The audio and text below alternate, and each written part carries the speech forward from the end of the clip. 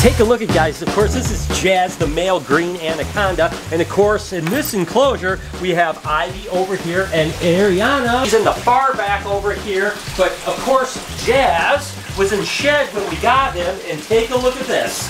A beautiful shed coming out of here. It looks like a one-piece shed looks absolutely amazing and he looks beautiful now. And he is a really good snake. I mean i tell you what he's as tame as ariana and ivy which is great. So we have four anacondas here. Obviously ariana ivy jazz and of course viridae. All of them are unbelievably docile animals super tame that you can handle. That is awesome because not all the time green anacondas are that way. But with the beautiful new shed he looks absolutely incredible. And of course so many people make the mistake of measuring their sheds and thinking like all right that's how long my snake is, and uh, we all know that that's usually not the case, but let's go ahead and put it to the test. So I set the shed out here in the sun to actually try out a little bit. What I'm gonna do is actually measure the length of it, and we'll get an idea, and then we'll measure Jazz, and we'll get an idea what the difference is. Looks like we have about 149 inches. So let's go ahead and get Jazz and see how long he is. And of course, Mike here is gonna help me get Jazz out and we're gonna go ahead and use the old string technique to measure him out. Remember, 149 inches on the shed. Let's see how long Jazz actually is. Oh, come on, come on, Jazz. It's almost like he's wet. wow, he's so strong. Jazz! Woo! Wow, Jazz is not as uh, as calm as the other ones as far as it's just kind of more flighty and stuff like that, but maybe it was just as he's in the water. Keep, keep his head, don't let him bite me. No, he's super tame. He's super tame, look at him. He's absolutely amazing. So let's set him down on the ground. Wait, I can't. He's got me. Stop messing around. All right, so you're gonna have to kind of restrain him a little bit. Just keep him like to a point where I can get the string. All right, here we go. Are you starting at his tail? Well, yeah, I'm gonna start his tail. He doesn't like his tail touched. Oh, he said he's nice, right?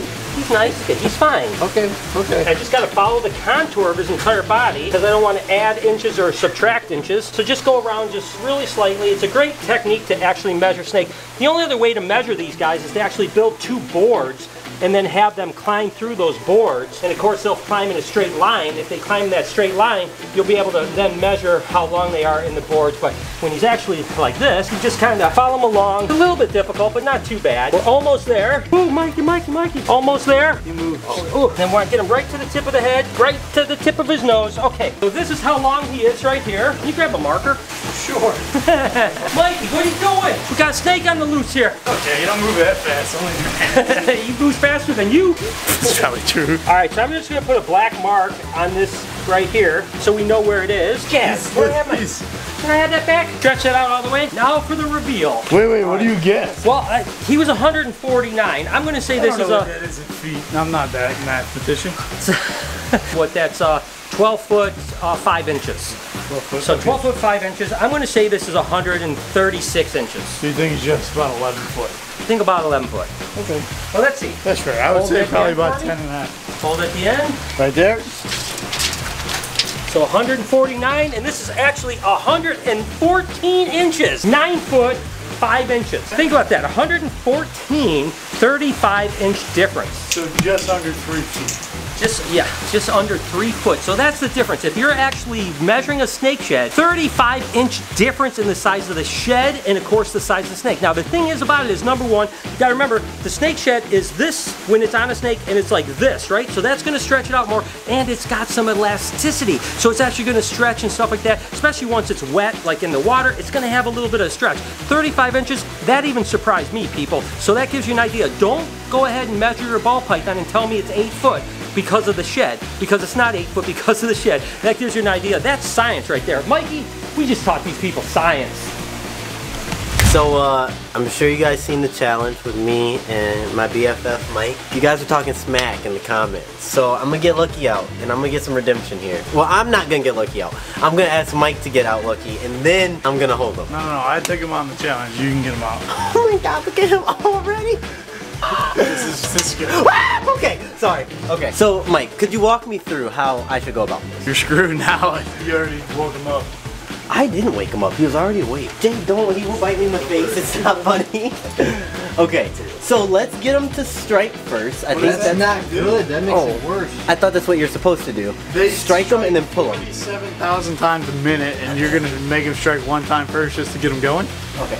I think that I don't want redemption. So sorry guys, you're just gonna have to keep talking smack in the comments because I just quite literally can't do it. You want you want me to show you how to do yeah, it? yeah. Yeah. Give me this camera angle.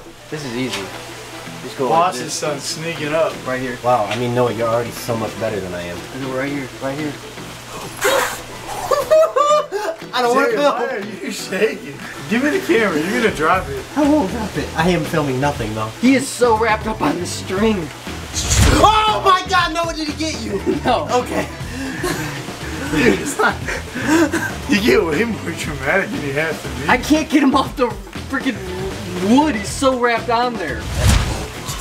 wow, that was. That was a far one. That was That basically good. my freaking nose. Jesus. I can't get him. He's, look how many coils he has on that stingy. I don't want to film this. I can't rip him off. Okay, it's okay. Good He- job. he's too wrapped up there. I'll, give, I'll tell you what. Noah got your redemption, but you did not. I did not. Mustache gang. Woo!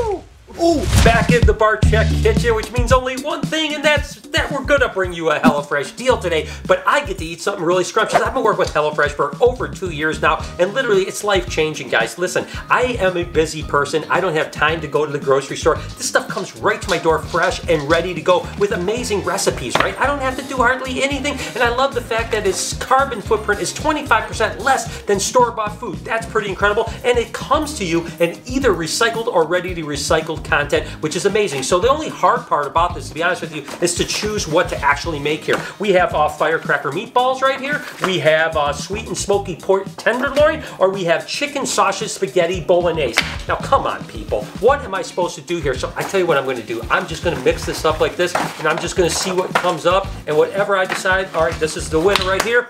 That's right, firecracker meatballs, people. That's what we're gonna make. And this is the box right here of all the stuff. We're gonna need some ground beef. That's right, right here, fresh ground beef. And let's see what else we have in here. We have some green beans. You know, I like green beans. When I was a kid, I hated green beans, but I don't like onions or scallions, so I'm gonna throw those aside. Whatever works for you. We've got a whole bunch of. Just pour this out right here. Look at this. Oh, I have a feeling this sriracha is gonna be for firecracker. And kids, do me one favor. Before you start cooking, wash your hands.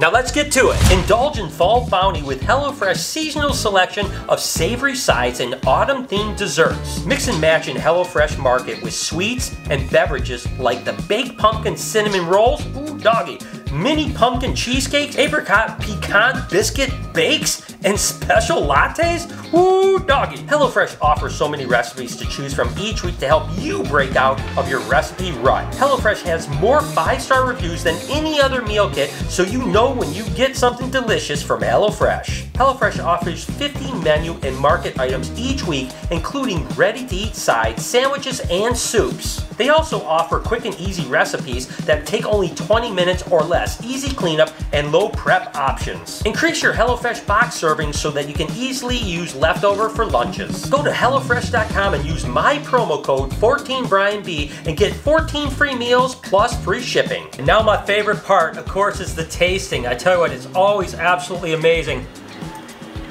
Mmm, that's a damn good meatball right there. I tell you what, guys, you guys can go over to HelloFresh.com, use my promo code 14BrianB, and you get 14 free meals, including shipping. For now, I'm not going to talk anymore because it's just too darn good not to eat it. Remember the other day I actually showed you that clutch that started to hatch out that was actually a pin specter that's bred to a dragonfly yellow belly as well as a vanilla bamboo woma. Well, they've all hatched out and there's some pretty interesting results here and I want to dive into this a little bit. But what I first showed you was this animal here that hatched out that I thought originally was like, how could we have gotten an ivory, which it definitely wasn't an ivory. Not exactly sure what this is going on. There's another animal in here, but nevertheless, we got some really cool stuff. This right here is the Firefly Super Stripe. So a yellow belly and a specter mix and lilically going. And then there's just all kinds of other really beautiful animals. This is actually the pin super stripe. Looks like a fire too. So it looked like it's a fire, a pin stripe, and a super stripe, which is really amazing. Then we got some really beautiful, beautiful animals in here. These two here I actually believe to be a vanilla pastel specter fire pinstripe, right? So these are basically vanilla, dragonfly, yellow belly, specters. Uh, really beautiful animals, really came out well. And then one of these animals, of course, it was dual fathered, is this is a cool animal here. This is actually the bamboo gene that came through on this one. So this one looks like a vanilla bamboo fire pinstripe Woma ball python. Absolutely wonderful. But again, the two animals I found to be really interested that I want to take a closer look at is this animal right here, which is just basically looks like maybe a lemon blast that has some really interesting colors. I'm going to talk about that in a second. And then, of course, this mystery animal here. And to really get into it, we have to talk about the mystery ball python. So to really talk about it, it came from the origins of this animal here, which is what we call the mystery ball python, that just basically popped out of a pinstripe clutch that just made no sense. It was like this patternless, wacky thing, definitely affecting the pattern a ton, and it was kind of just a complete mystery, so we call it the mystery ball python, because we had no idea why it was patternless and how it was crazy. And then, of course, when we bred this animal, we produced some really crazy offspring. Now, we ended up producing five babies from the mystery female. All five of them were completely different looking and really strange. This is, a, again, a weird one. Again, it's patternless, but it's got some weird kind of speckling throughout of it. Never seen a ball python like this. Completely out of the blue, this came out. It was just weird. I mean, there's definitely something amazing going on. What it is, I don't know. I don't know if it's an allelic thing. I don't know if there's like a co-dominant, incomplete dominant thing happening that we just don't know about. I don't know what is going on. This one was an absolute ripper, but there was another one that really made me think about the clutch that we just hatched. And that's this ball python right here. Again, much like that little baby that we showed, it has just a very interesting blushed out pattern to it, right? It's not like a normal pinstripe and a pastel, which is what this is supposed to be. This should be just a pin pastel or a lemon blast, but why is the pattern so kind of almost like a jaguar type of look to it, right? It's so interesting. And if you notice, this baby and this one right here a yearling look almost identical. I mean, when this was a baby, this is exactly what it looked like. And of course, there's other babies in this clutch that look unusual as well, but there was really a kind of correlation between this animal and that animal. So even though the mystery female I showed you a little bit ago had nothing to do with this clutch, the pinstripe that kind of was lineage from that mystery ball python that's related to it produced these animals. So obviously there's again a hidden gene going on in a bunch of my pinstripes and I've got to somehow figure out what they are. Now we have three different females that we know have this mystery gene in it. Now it's a matter of back engineering them or reverse engineering to figure out. The good part is, is this guy and the other males that from the clutch last year are all ready to breed this year and we can breed them out and start to figure out what the heck is going on. I don't know if it's going to be easy or not, but that's what makes this whole thing so much fun is that you have something that's so unusual, you don't know what the potential is, and it's going to be awesome to figure it out. I'm excited, guys, because we have the new fall Reptile Army gear out now. It's so new that I don't even have it yet. I'm to get mine maybe next week, and I'll show you what it is, but uh, definitely some cool designs coming out. So if you're into fall and you want to get some cool new designs, go to reptilearmy.com join the army. We're trying to get out there. We need you as our soldiers going out there wearing our gear, talking to people, telling people like, wow, it's thought provoking, right? When someone sees a really cool design with a reptile, like, what is that all about? Now you can go out there and say, hey, it's about this. And I think this fall line is going to be really cool. We have backpacks, we have hoodies, we have long sleeve, we have socks, we have all kinds of stuff. And next week we're actually dropping the Halloween one. So those people that love Halloween as much as I do, make sure to go to reptilearmy.com, keep an eye on it because next week that drops and we have some really fun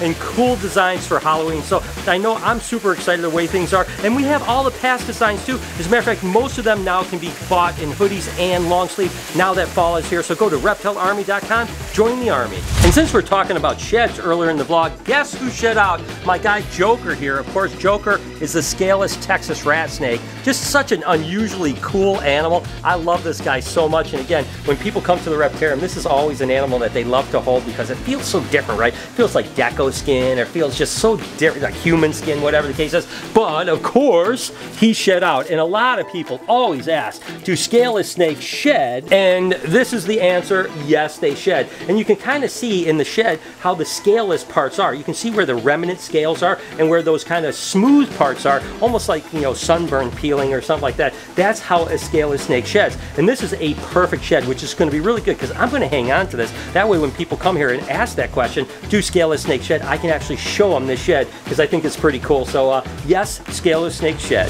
Hope you enjoyed today's video. If you did, can you do me a huge favor? Right over here is a playlist. You can just hit one or two of those videos. If you want to watch more of me, if you don't mind, on this side, can you go ahead and hit that subscription button? It would mean so much to me. Have an absolutely wonderful day, Reptile Army. Remember, be kind to somebody, and I promise I'll see you in the next one.